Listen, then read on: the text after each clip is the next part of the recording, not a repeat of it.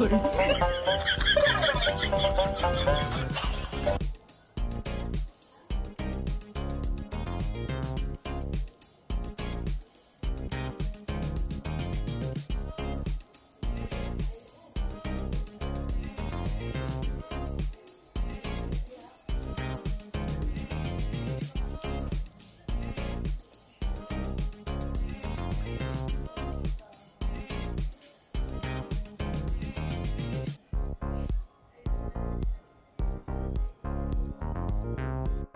Tingnan mo